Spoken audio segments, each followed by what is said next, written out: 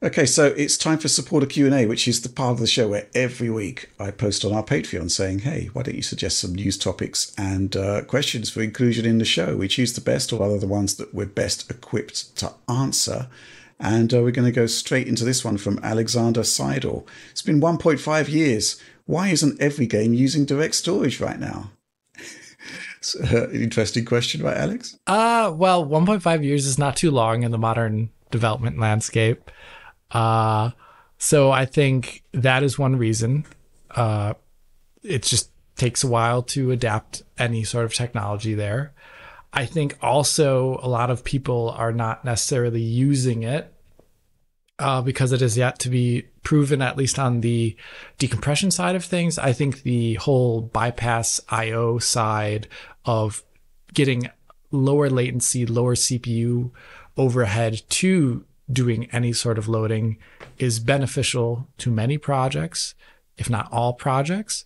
But the whole GPU decompression side is, as we heard from Nixxes, just it's not completely well thought out. It's not it's not a winning it's not just like an easy win.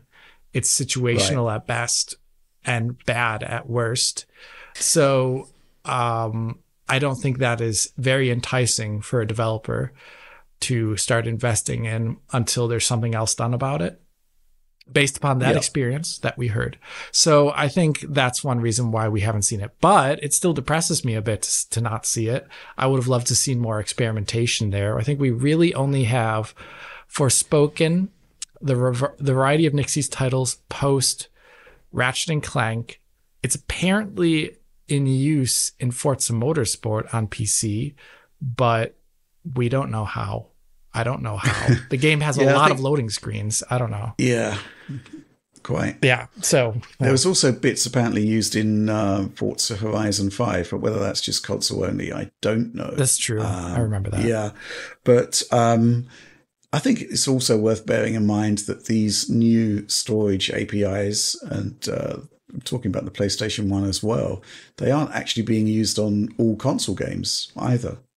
So, you know, I'm assuming there's some level of uh, challenge in just, you know, migrating across to them. Mm-hmm. Uh, well, certainly what we have seen on the PlayStation 5 side uh, in terms of broad adoption has been um, the enhanced uh, compression systems that they've been using there. You know, we've seen quite a lot of games with smaller file sizes than their Xbox equivalents, which I find quite interesting.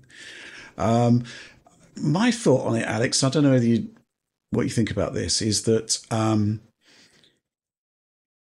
what can I say? The consoles have got a dedicated block to do all of this decompression work, but on PC, you've still got to tap into some existing resources. You know, you're essentially possibly robbing Peter to pay Paul, mm-hmm. uh, which you know is something that possibly we saw in Ratchet and Clank back in the day. I think so. Yeah. Uh, Oliver, have you got any thoughts on this one? Uh, not particularly. I would defer to Alex on all matters direct storage and most matters PC. so, yeah, I agree with Alex. I guess that's nice of you.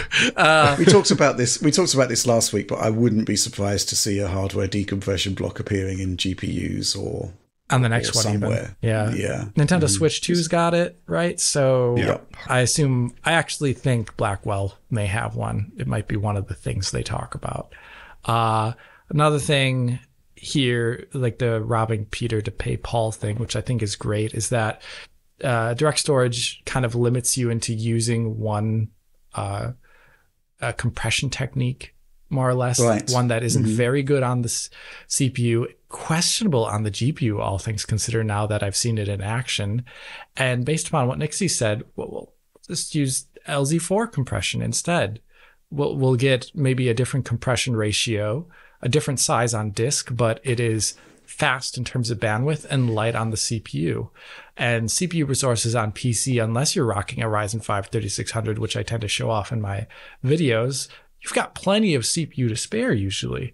So, um, yeah, it is a bit of a questionable thing, actually, all things said and done based upon what we've seen in games since the generation changed, uh, as well as since, you know, we see things like UE5 taking up. Uh, that's doing its own active uh, streaming of game content all the time. And it really hasn't been the big issue with that engine at all. It has other issues. It seems like the streaming mm-hmm. is actually pretty okay in Yeah. U5.